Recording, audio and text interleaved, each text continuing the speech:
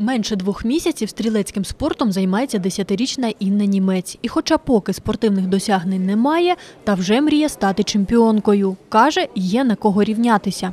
Мене дуже любить стрільбу мій дядько.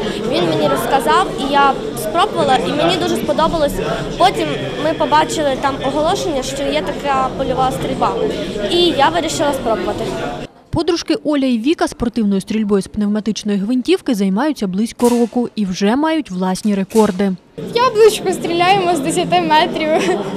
Для цих дівчат це перші змагання. Вони хвилюються та в лузери себе не записують. Я хочу десь е, приблизно біля десятки. Ну, десятка це Перемога, звісно.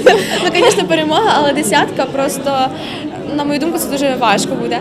А хвилююсь, е, тому що дуже багато суперників і Сильних. да. Поки новачки змагаються на Кубку області, досвідчені стрілки Хмельниччини виборюють медалі на Кубку України у Львові.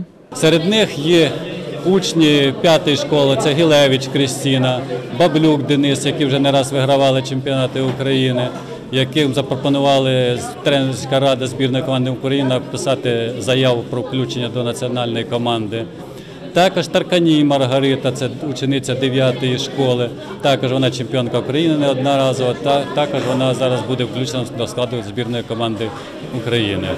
Учасники Кубку Анатолія Оніщука змагаються в найпростішій вправі. Стріляють на 5 метрів з пневматичної гвинтівки, сидячи. Кожен із них робить три пробних і п'ять контрольних пострілів. Ярослава Антошевська, Іван Мовчан для інформаційного випуску.